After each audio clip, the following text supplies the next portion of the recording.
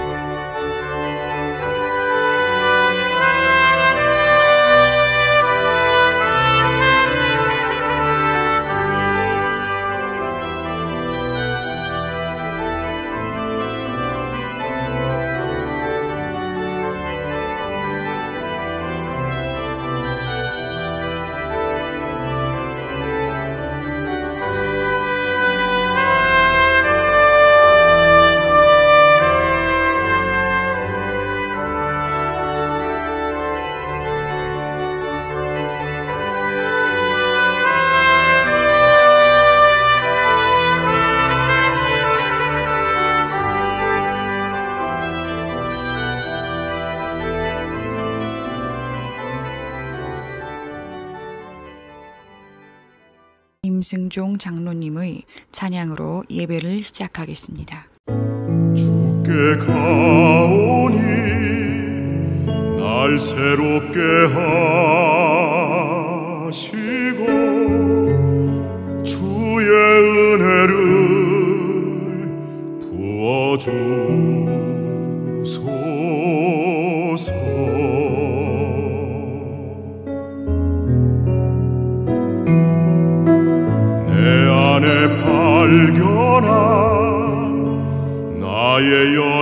세상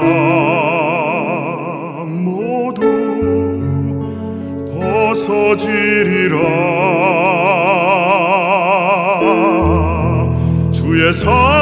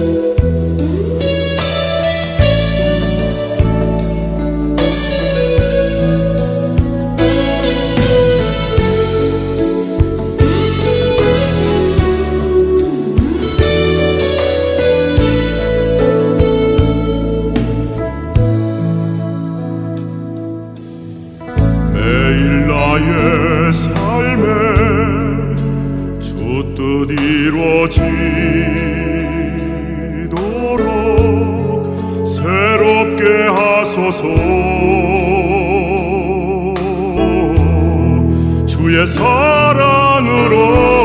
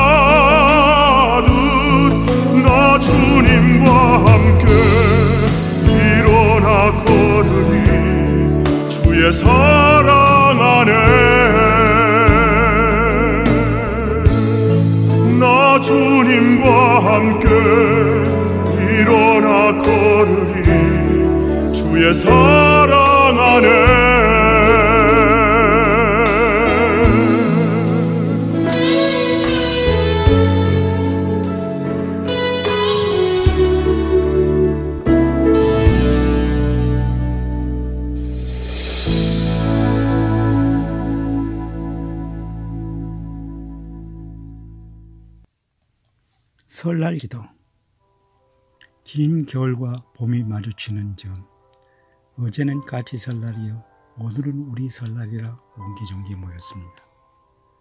멀지 아니한 봄날에 올망졸망 피어날 봄꽃들 같은 아름다운 정경 위에 주여 주복하여 주소서. 먼 길 막히는 길 마다하고 밥상에 올망졸망 모인 권속들은 보도송이요 감람나무 열매요 가없는 은혜입니다.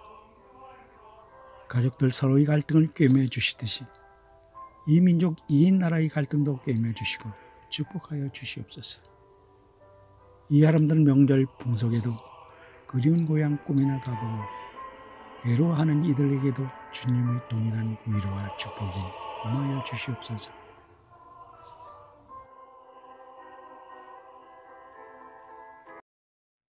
예수님의 이름으로 기도합니다. 아멘.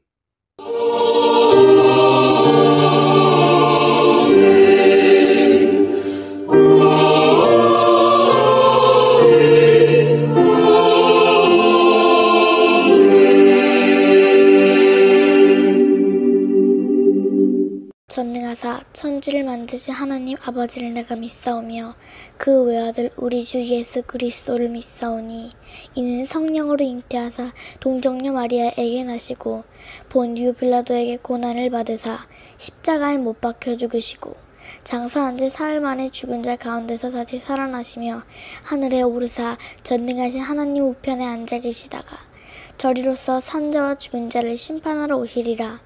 성령을 믿사오며 거룩한 공예와 성도가 서로 교통하는 것과 죄를 사하여 주시는 것과 몸이 다시 사는 것과 영원히 사는 것을 믿사옵나이다. 아멘.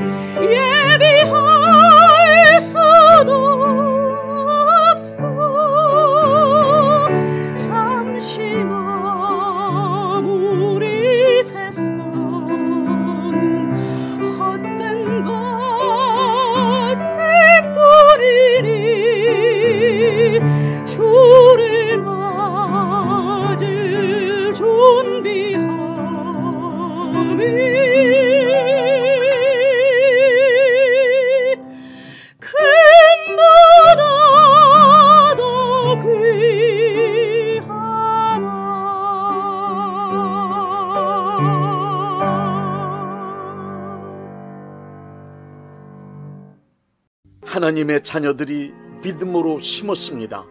심은 이들을 위하여 믿음으로 축복합니다. 이 시간 간절히 원하오니 축복의 씨앗을 심은 이들에게 하늘의 아름다운 보구를 여시사 복을 내려 주옵소서. 때를 따라 필요한 것을 공급하시되 저들의 손으로 하는 모든 일에 복을 내려 주셔서 언제나 풍성하고 부유한 사람이 되게 하여 주옵소서. 하나님의 거룩한 일들을 위하여 쓸 수 있는 것이 많아지게 하여 주옵소서. 부어줄 수 있는 자가 되게 하시며 절대로 마르지 않는 풍성함을 허락하여 주옵소서. 뿐만 아니라 어려운 형편에 처한 이들을 위하여 나누어 주고 도와줄 수 있는 선한 재물이 항상 있게 하여 주옵소서. 치열한 경쟁 속에서도 항상 머리가 되고 꼬리가 되지 않게 하시며 위에만 있고 아래에 있지 않게 하여 주옵소서. 또한 저들의 삶을 방해하는 악한 세력들을 패하게 하시되 한 길로 왔다 일곱 길로 도망치게 하여 주옵소서. 언제 어디서 무엇을 하든지 복을 내려 주심으로 하나님께서 항상 함께 하시는 사람이라는 것을 만인 앞에 드러나게 만들어 주옵소서. 예수님의 이름으로 축복합니다. 아멘.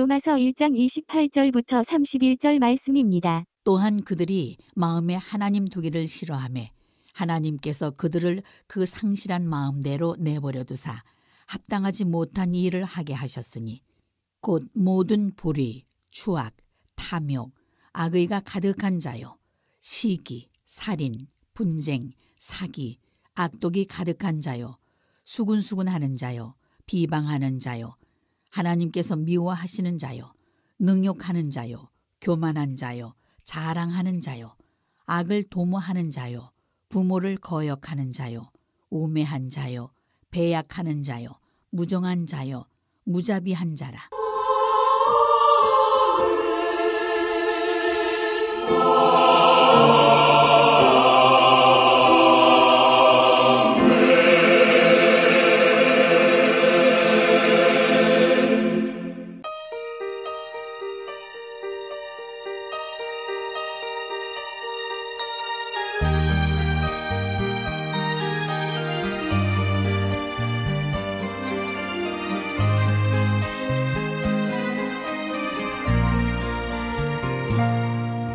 낙엽처럼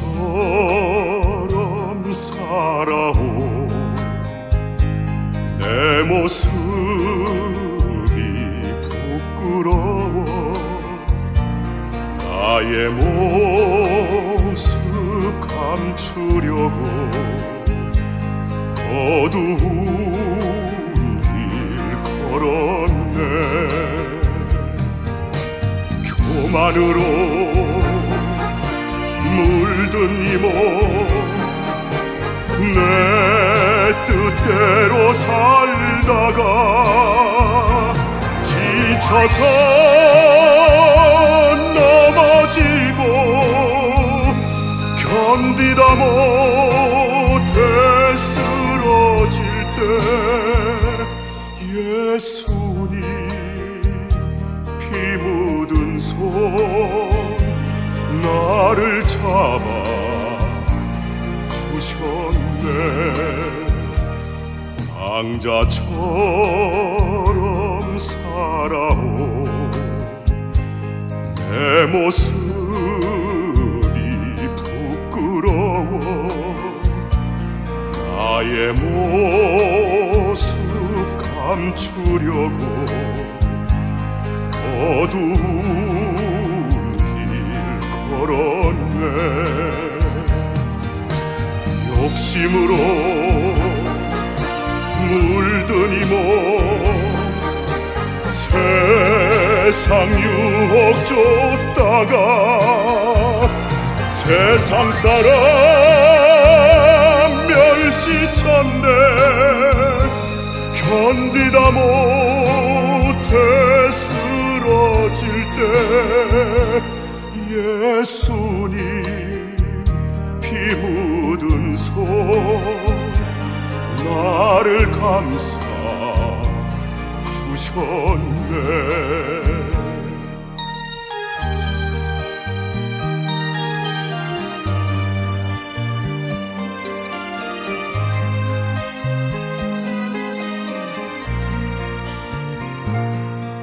잡초처럼 살아온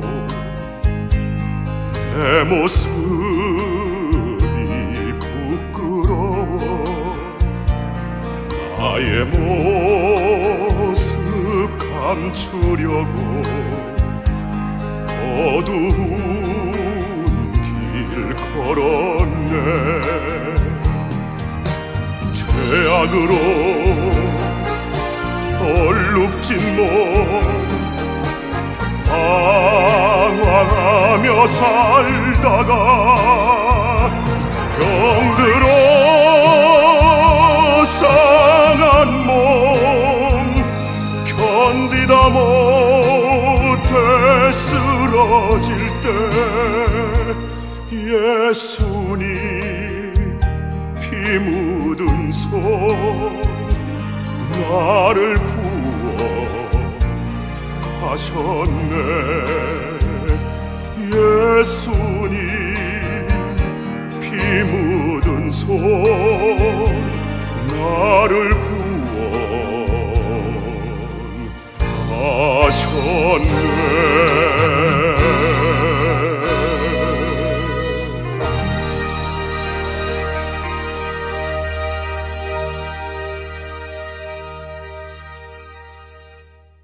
원죄는 아담으로부터 물려받은 죄이지만 자범죄는 내가 직접 지은 죄로서 하나님의 말씀과 양심을 거스리는 잘못된 생각, 잘못된 말, 잘못된 행동 등 모든 불의한 것들을 말하는 것입니다. 왜 자범죄를 짓게 되는지 불신자의 경우와 크리스찬의 경우 둘로 나누어 말씀드리겠습니다. 첫째, 불신자들이 죄를 짓게 되는 원인을 설명드리겠습니다. 불신자들은 원죄로 타락한 본성 때문에 자연스럽게 죄를 짓게 됩니다. 불신자들에게 있어서 자범죄란 원죄의 뿌리를 둔 악함이 생각과 말과 행동으로 자연스럽게 표출되는 현상입니다. 하나님의 자녀로 거듭나기 전의 모든 인간은 원죄에 지배된 죄인이기 때문에 죄를 짓는 것입니다. 이러한 사실을 로마서 1장 29절에 곧 모든 불의, 추악, 탐욕, 악의가 가득한 자요, 시기, 살인, 분쟁, 사기, 악독이 가득한 자라고 표현하고 있습니다. 마가복음 7장 20절부터 23절엔 예수님께서 이렇게 말씀하셨습니다. 또 가라사대 사람에게서 나오는 그것이 사람을 더럽게 하느니라 속에서 곧 사람의 마음에서 나오는 것은 악한 생각 곧 음란과 도적질과 살인과 간음과 탐욕과 악독과 속임과 음탕과 홀기는 눈과 회방과 교만과 광패니 이 모든 악한 것이 다 속에서 나와서 사람을 더럽게 하느니라 둘째, 크리찬이 죄를 짓게 되는 원인을 설명드리겠습니다. 크리찬이란 원죄와 자범죄가 해결되어 마귀의 지배를 벗어난 사람들입니다. 하나님의 자녀로 거듭난 사람들을 말합니다. 그러므로 크리찬은 교리적으로 말하면 당연히 마귀의 일인 죄를 멀리하고 죄를 미워하며 죄를 이기며 살아가는 사람들이기 때문에 죄를 지을 수 없는 사람들입니다. 우리는 그렇게 알고 있었기 때문에 크리찬이 되는 즉시 선하고 의롭고 진실하게 변화되어 하늘의 천사처럼 거룩한 삶을 살게 되는 줄 알았습니다. 그러나 크리찬으로 살아가는 지금 우리의 이상과는 전혀 다르게 거듭나기 전과 같이 여전히 죄를 짓는 삶을 살아가고 있다고 하는 것이 우리 모두의 솔직한 고백입니다. 크리찬이 된 이후에도 여전히 죄를 짓게 되는 이유가 있습니다. 거듭난 것, 크리찬이 된 것은 신분만 변화된 것이지 인격과 생활의 습관 그리고 육신의 상태까지 완전히 성화된 것은 아닙니다. 거듭난 것은 크리찬의 완성이 아닙니다. 거듭난 것은 완전한 크리스찬이 되기 위한 성화가 시작된 것에 불과합니다. 의인으로 변화된 것이 아니고 불의한 인간이지만 칭의 즉 하나님께서 의롭다고 인정해 주신 것 뿐입니다. 생각, 말, 행동 등 생활에 이르기까지 완전히 성화되려면 성장과 성숙되는 여러 가지 단계와 시간이 필요합니다. 이러한 사실을 사도 바울이 로마서 7장 21절을 통하여 증거해 주고 있습니다. 그러므로 내가 한 법을 깨달았노니 곧 선을 행하기 원하는 나에게 악이 함께 있는 것이로다. 내 속사람으로는 하나님의 법을 줄고하되 내 지체 속에서 한 다른 법이 내 마음의 법과 싸워 내 지체 속에 있는 죄의 법으로 나를 사로잡는 것을 보는도다. 오라 나는 곤고한 사람이로다. 이 사망의 몸에서 누가 나를 건져내랴. 우리는 거듭남을 경험했어도 완전히 성화되어 그리스도 예수님을 닮은 장성한 분량에 이르기 전까지는 범죄할 가능성에 노출되어 있는 연약한 존재라는 사실을 잊지 말아야 합니다. 신부는 하나님의 자녀로 변화되었지만 죄를 짓도록 영향을 끼치던 환경이나 조건들은 그대로 존재하고 있으면서 전과 다름없는 강력한 영향력을 끼치고 있기 때문입니다. 크리천이 된 이후에도 계속하여 죄를 짓도록 만드는 영향력은 네 가지입니다.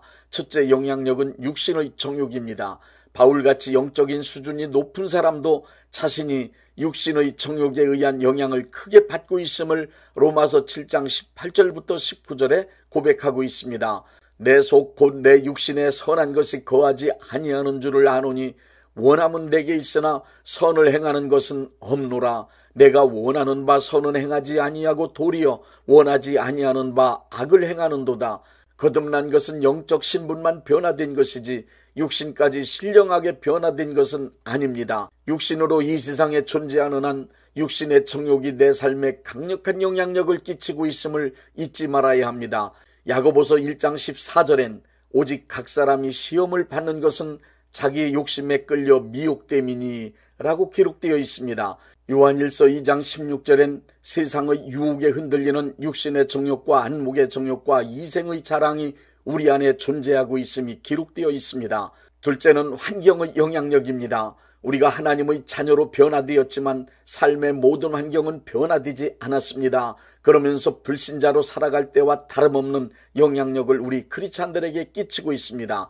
그러므로 하나님의 자녀로 거듭난 사람들은 창세기 12장에 하나님은 아브라함에게 본토 친척 아비집을 떠나라고 하신 그 이유를 깊이 생각해 봐야 할 것입니다. 셋째는 습관의 영향력입니다.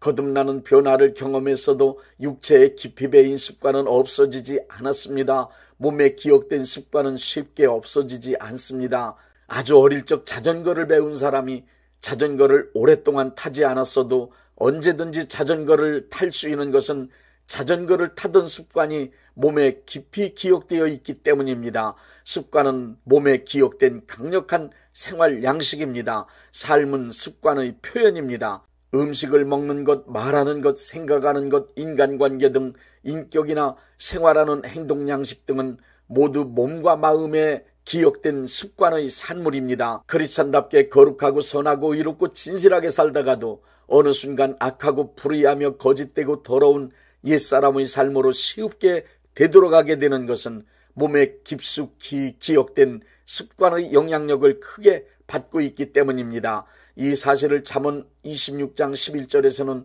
이렇게 말씀하고 있습니다. 개가 그 토한 것을 도로 먹는 것 같이 미련한 자는 그 미련한 것을 거듭 행하느니라.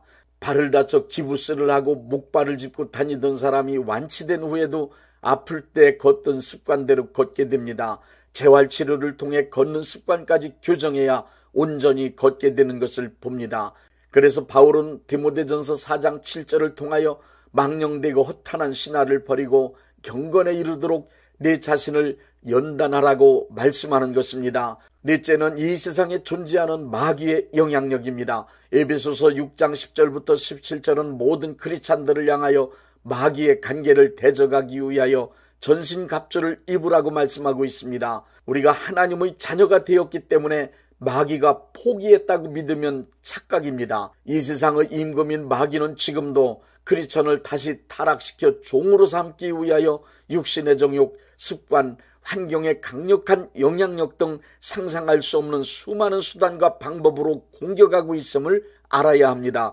그렇기 때문에 마귀가 공격할 수 있는 틈을 주지 않기 위하여 전신갑주로 무장해야 됨을 바울은 강조하고 있는 것입니다. 완전히 성화되어 예수님을 닮은 장성한 크리스찬이 되기 전까지 우리 모두는 범죄할 가능성이 있는 나약한 존재임을 잊지 말고 살아야 합니다. 이제 자범죄의 실상에 관하여 일곱 가지로 말씀드리겠습니다. 첫째, 신앙적인 죄가 있습니다.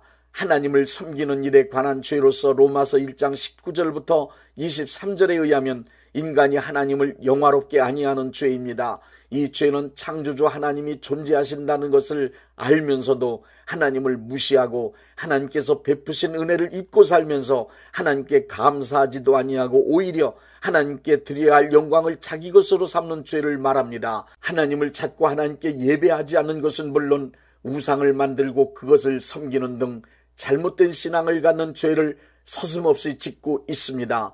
많은 사람들이 일상생활에서 하나님보다 더 높이고 하나님보다 더 사랑하고 하나님보다 더 의지하는 것을 마음에 간직함으로 우상숭배의 죄를 짓고 있습니다. 둘째, 시기 질투에 속한 죄가 있습니다. 시기 질투는 인간관계에서 가장 흔하게 짓는 죄입니다.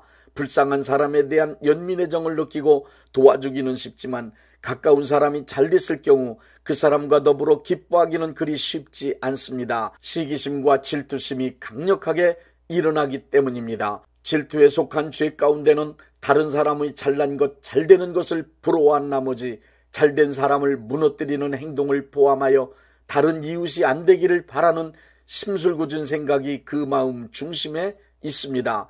또한 특정한 사람을 적으로 만들고 주변 사람들을 이간질하여 갈라놓고 경쟁하거나 대적하며 당을 짓거나 분쟁하는 것도 역시 시기 질투에 속한 죄입니다.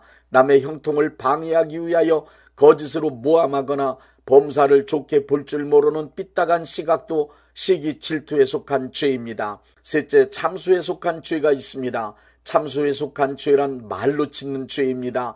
당사자가 없는 데서 그를 헐뜯는 것, 집단이나 이웃들 사이에서 수군수군하거나 공개적으로 타인을 중상 모략하는 것이 참수에 속한 죄입니다.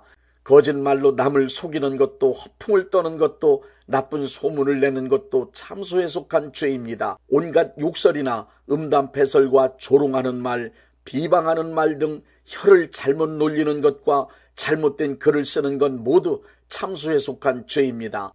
넷째, 교만에 속한 죄가 있습니다. 자기가 잘난 줄 착각하고 행하는 모든 언행, 실속 없이 호언장담하는 것이나 자랑이 교만에 속한 죄입니다. 타인을 얕보고 깔보며 무시하는 거만, 타인을 능욕하는 오만 방자함, 자기가 높아지기 위해 선악을 가리지 않는 권모술수로 악을 도모하여 타인에게 피해를 입히는 것 또한 교만에 속한 죄입니다. 자기의 힘과 권위를 약한 사람에게 휘두르는 폭력, 요즘 흔히 말하는 갑질 또한 교만에 속한 죄입니다. 다섯째 배신에 속한 죄를 말씀드립니다. 배신에 속한 죄란 자신의 이익을 위하여 믿음이나 약속, 의리를 저버리는 행위로 차가운 죄입니다. 믿어주는 사람, 기대하는 사람을 속임으로 실망시키며 사랑과 은혜를 베풀어준 사람을 예면하고 그것을 저버리는 죄입니다. 은혜를 모르거나 은혜를 예면하는 것이 배신에 속한 죄입니다. 부모에게 불효하는 것이 배신에 속한 죄요. 바람을 피우는 것 또한 배신의 죄요. 자기의 이익을 위하여 다른 사람에게 손해를 끼치는 것도 불량식품을 제조하여 믿고 구매한 이들의 건강을 해치는 것, 물건을 속여 파는 것도 배신에 속한 죄입니다. 사기치는 것 또한 배신에 속한 죄입니다. 여섯째, 탐욕에 속한 죄가 있습니다. 탐욕이란 자기 소유로 만족하지 못하고 더 갖기 위해 욕심부리는 뜨거운 죄를 말합니다. 탐욕에 사로잡히면 욕구를 채우기 위해 지나치다 할 정도의 열정적인 삶을 살아가게 됩니다. 탐욕에 속한 죄 가운데는 도에 지나친 취미생활도 있고 식탐과 식도락을 만족시키기 위한 행위도 있습니다. 성적 쾌락만을 추구하는 온갖 음란 행위는 물론 생각과 말과 행동을 음란하게 하는 것 역시 탐욕에 속한 죄입니다. 남의 물건을 도둑질하는 것, 도박이나 알코올, 마약에 중독되는 것도 탐욕에 속한 죄입니다. 탐욕에 사로잡힌 사람은 욕구를 채우기 위해 별의별 짓 다 하고 살아갑니다. 일곱째, 생각으로 짓는 죄도 있습니다. 예수님은 마음속에 생각으로만 품고 있는 죄와 행동으로 표현된 죄를 동일하게 보십니다. 예수님은 여자를 보고 음욕을 품은 사람은 이미 간음죄를 지은 것이며 사람을 미워하면 그는 이미 살인죄를 지은 것이라고 말씀하셨습니다. 우리는 지금까지 열거한 것보다 더 많은 죄들을 짓고 살아갑니다. 문제는 죄를 짓게 되면 죄 짓는 것으로 끝나지 않는다고 하는 것입니다. 죄는 어떤 것이든 그 대가를 치르도록 되어 있습니다. 죄 짓고 잘된 사람이나 행복하게 된 사람은 아무도 없습니다. 죄를 짓고 마음이 지저분해지면 삶의 주변 환경도 지저분하고 더러워지며 정리되지 않은 채 복잡해집니다. 사람이 죄를 짓게 되면 마음과 육체에 병이 들기도 합니다. 죄를 지으면 생업은 물론 죄 지은 사람과 연관된 환경까지도 망합니다. 죄를 지은 당사자는 물론 그의 가족이나 주변에 연관된 모든 사람들까지도 불행해집니다. 자주 반복하여 죄를 지으면 양심에 화인 맞은 자 되어 점점 더 큰 죄를 거침없이 짓게 되므로 자신의 삶과 주변 사람들의 삶까지 완전히 망하게 만드는 자가 됩니다. 사람이나 집단이 망하게 되면 그 원인을 여러 가지로 분석하여 말하지만 성경은 그 사람이나 집단이 지은 죄 때문에 망했다고 말씀하고 있습니다. 지은 죄는 살아있는 동안 반드시 해결하고 넘어가야만 합니다. 그렇지 않으면 이 땅에 살아가면서 그 죄값을 반드시 치러야 하며 죽은 후 심판대 앞에서 정죄함을 받게 됩니다. 죄를 지으면 죄값으로 벌과 저주를 받는 것은 살아계신 하나님의 공의로운 법입니다. 그렇기 때문에 죄 지은 사람들을 향하여 천벌이 무섭지 않으냐라는 말을 하게 되는 것입니다. 모든 고통, 환란의 원인은 자신이 저지른 죄 때문임을 알고 지은 죄를 찾아내어 회개하고 죄의 문제를 해결해야만 합니다. 그래야만 삶의 문제가 해결됩니다. 다음 시간에는 우리가 저지른 죄를 용서하시는 하나님의 은혜인 예수님의 보혈을 자범죄의 결론으로 증거해 드리겠습니다. 308장 내 평생 살아온 길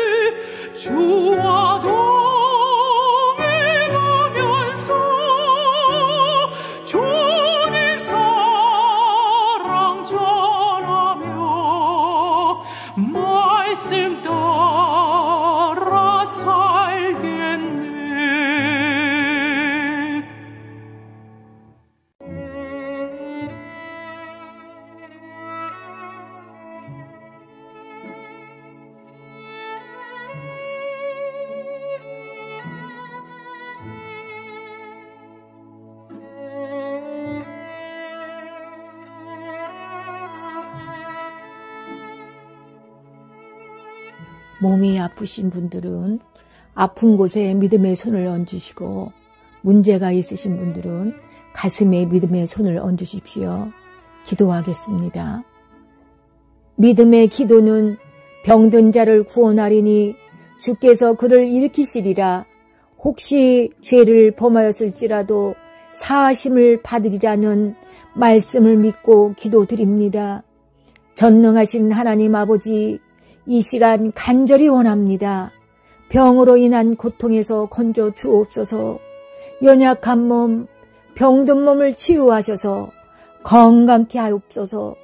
그가 채찍에 맞음으로 남을 얻었다는 말씀이 이 시간 믿음의 손을 얹고 기도하는 이들에게 이루어지게 하옵소서. 예수 이름의 능력으로 치유되게 하시되 외양간에서 나온 송아지같이 기뻐 뛰게 하여 주옵소서. 건강한 몸을 얻어 온 천하에 다니며 살아계신 전능하신 하나님 역사를 찬양하며 간증하게 하여 주옵소서. 예수 이름으로 기도드립니다. 아멘.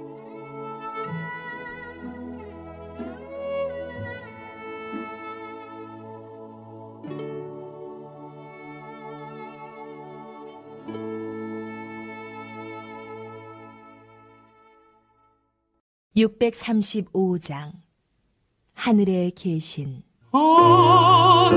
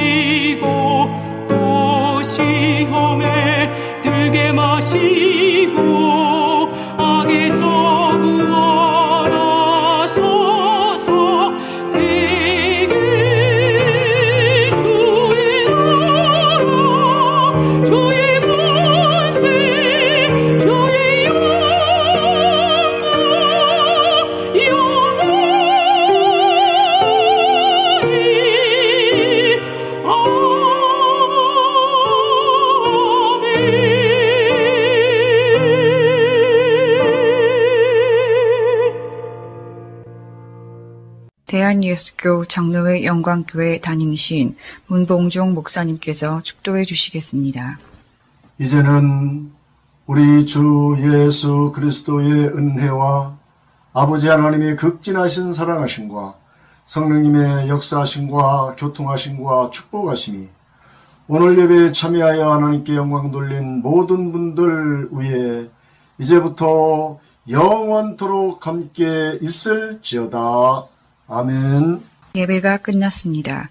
은혜 받았으니 모두 나가서 예수님의 복음을 전합시다. 할렐루야, 할렐루야, 할렐루야, 할렐루야, 할렐루야, 할렐루야, 할렐루야, 할렐루야. Amazing grace, how sweet the sound that saved a wretch like me. I once was lost, but now I'm found, was blind, but now I see. Hallelujah, hallelujah, hallelujah, hallelujah, hallelujah, hallelujah, hallelujah, hallelujah. There is a fountain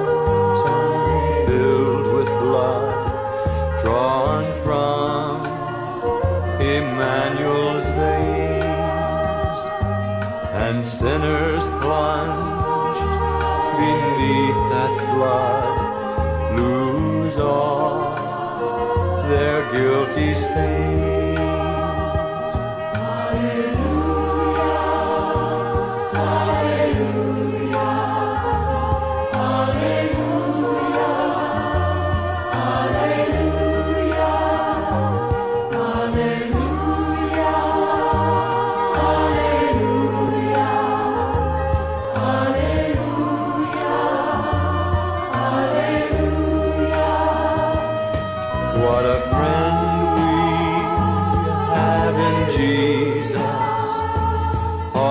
Our sins and griefs to bear. What a privilege to carry everything to God in prayer. Hallelujah.